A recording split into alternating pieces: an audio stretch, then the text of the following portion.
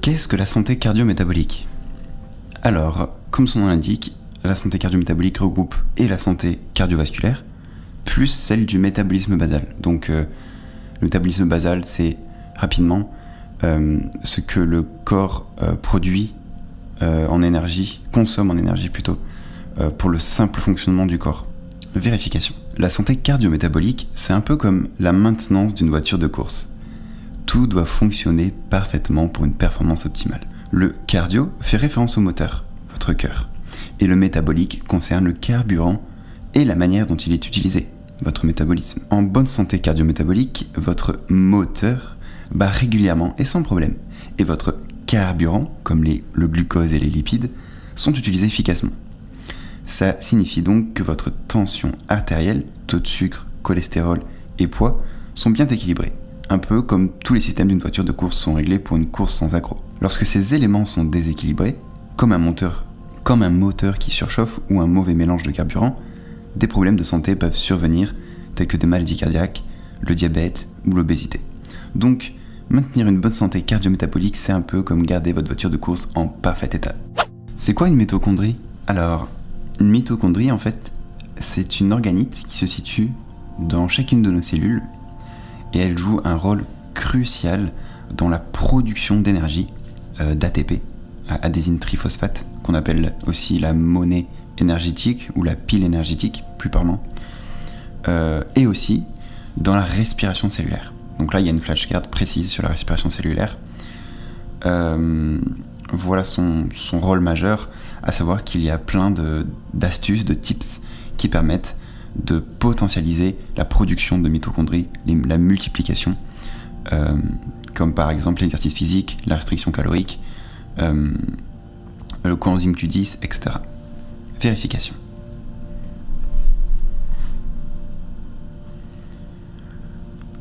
La mitochondrie est une organite spécialisée dans la respiration cellulaire, c'est-à-dire dans la dégradation des nutriments carbonés carbonés. Ah oui, nutriments carbonés, j'avais complètement oublié ça. Les mitochondries sont donc les centrales énergétiques de nos cellules.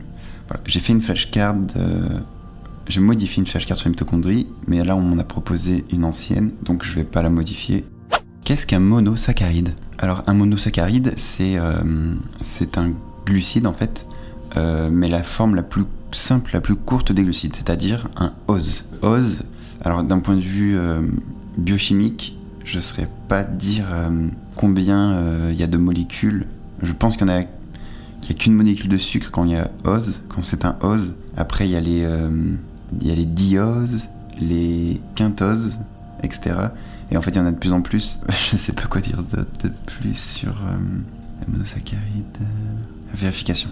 Un monosaccharide ou un OZ est en fait la forme la plus simple du sucre et la plus basique des glucides. Les monosaccharides sont des molécules simples qui ne peuvent pas être hydrolysées, décomposées en sucre plus petit. Ils sont les unités de base qui constituent les glucides plus complexes, comme les disaccharides, tels que le saccharose, le lactose et le maltose, et les polysaccharides, tels que l'amidon, le glycogène et la cellulose. Les monosaccharides sont solubles dans l'eau, ont un goût sucré et sont généralement cristallins à l'état solide, ou tout simplement N.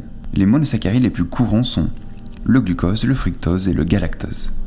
Le glucose, par exemple, lui, est un monosaccharide qui est directement utilisé par les cellules pour obtenir de l'énergie. Le fructose est un autre monosaccharide et c'est un sucre qu'on trouve dans les fruits. Le galactose, qui est moins sucré que le glucose ou le fructose, se combine généralement avec le glucose pour former le lactose, le sucre que l'on trouve dans le lait. Les monosaccharides peuvent également être classés en fonction du nombre de carbone qu'ils contiennent. Par exemple, les trioses ont trois atomes de carbone. Ah oui, c'est par rapport au nombre de carbone, faut pas oublier. C'est un peu comme les acides gras d'ailleurs. Euh, les pentoses en ont 5 et les hexoses en ont 6.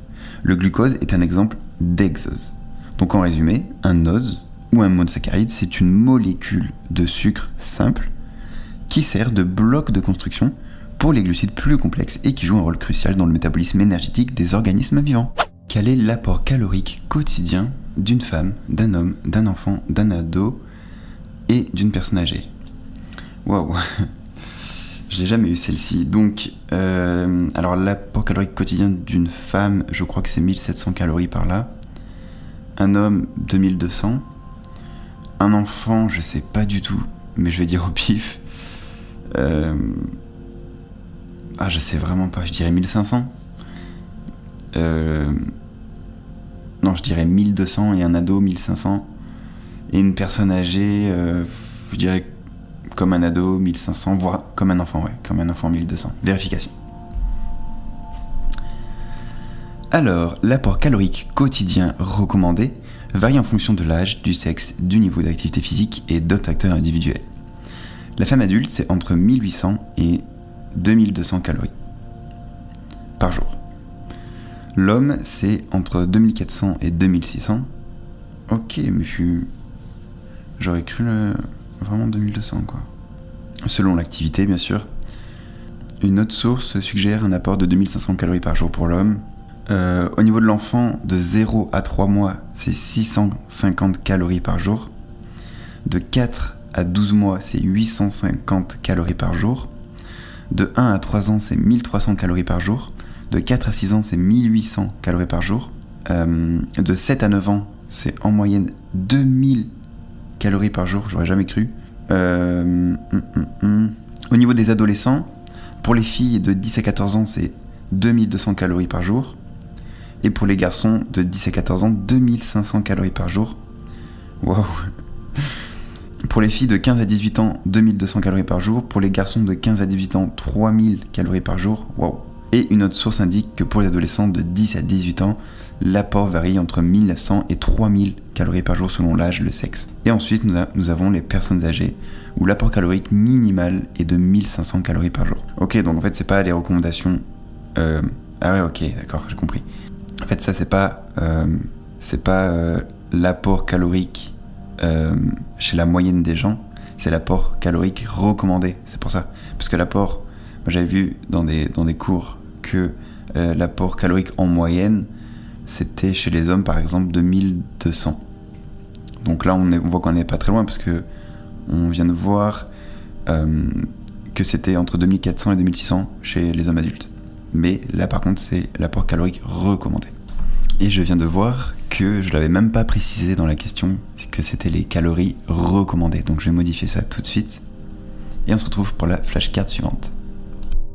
Le trouble de l'attachement, c'est quoi? Alors, le trouble d'attachement, c'est un trouble psychologique qui se présente chez les enfants de 0 à 4 ans la plupart du temps enfin qui commence à cet âge-là et qui peut après durer toute la vie, d'où l'importance de la, de la prévention. Et en fait, c'est, euh, un trouble du coup qui se déclenche lorsque l'enfant est séparé de, ses parents, voire euh, de figures paternelles, on va dire, euh, pas d'autorité, j'allais dire autorité, pas autorité, mais de figures paternelles ou de famille tout simplement, ou de proches quoi. Le trouble d'attachement, ou appelé aussi le trouble réactionnel de l'attachement, ou tout simplement TA, désigne les désordres émotionnels, comportementaux et d'interaction sociale dus à un échec de l'attachement relatif aux besoins primaires lors de la petite enfance. Lorsqu'un jeune enfant de 0 à 4 ans n'est pas en relation avec un adulte significatif qui comble ses besoins primaires, l'enfant a de fortes chances de développer un trouble de l'attachement qui affectera son comportement tout au long de sa vie. Ah oui, j'avais oublié de préciser ça.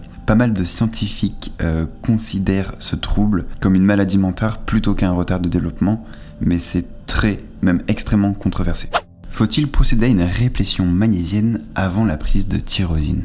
Euh, Oui, euh, c'est pas obligatoire, mais c'est plutôt recommandé de, de, se supplémenter en, en, magnésium avant une prise de tyrosine. Parce que, alors, en fait, la tyrosine, elle va jouer sur euh, le comportement avec, via les neurotransmetteurs et tout ça. Elle va apporter de l'énergie pour simplifier au maximum le magnésium aussi, donc euh, ça va potentialiser les effets de la tyrosine. Il euh, y a un délire avec la L-Dopa. Il y a un délire avec la L-Dopa parce que, aussi, ce qui est hyper intéressant, je devrais même poser la même flashcard avec la vitamine B6. Parce que la vitamine B6 est aussi très intéressante avant une prise de tyrosine. Donc en fait, il faudrait prendre et du magnésium et de la vitamine B6. Ces deux jouent sur la L-Dopa qui euh, qui vont potentialiser la, la, tyrosine. Alors, j'ai pas les processus biochimiques. Euh, j'ai fait une flashcard avec les processus biochimiques. On va voir si c'est celle-ci. Vérification. Non, c'est pas celle-ci. Alors, Oui, car un taux de magnésium stable facilitera le passage de la tyrosine dans la barrière hémato-encéphalique. Donc là, c'est très simplifié. J'ai hâte de tomber sur euh, la flashcard rectifiée, améliorée. Et en même temps, je vais noter tout de suite sur ma feuille qu'il faut que je note exactement la même chose avec la vitamine B6. Qu'est-ce que le facteur intrinsèque? Ah, euh, alors là, je la connais pas du tout, mais comme c'est une nouvelle carte, c'est excitant.